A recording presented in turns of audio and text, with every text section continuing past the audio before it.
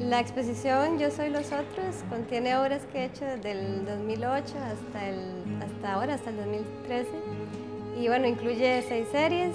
Asuntos de Familia, Refugios Mentales, Personajes Extraños, El Jardín del Inconsciente, em, Personas Extrañas y Efigies. Em, va a estar abierta a partir del jueves hasta agosto.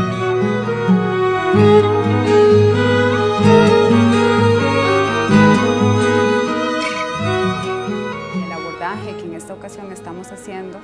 apunta hacia la constitución de la identidad individual, que ha sido uno de los ejes que van en el trabajo de Sofía, siempre desde una perspectiva que apunta a relativizar la realidad, a cómo nos constituimos como sujetos, siempre en relación a un otro, desde la familia hasta los amigos, el entorno,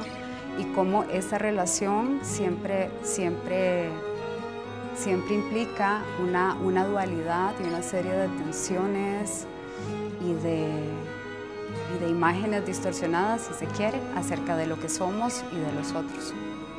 Siempre me ha llamado la atención captar tal vez la expresión que a la gente que, que no es tan normal en los niños, más bien como esa a veces eh, soledad o ausencia que a veces muestran los rostros de, la infancia, eso es como lo que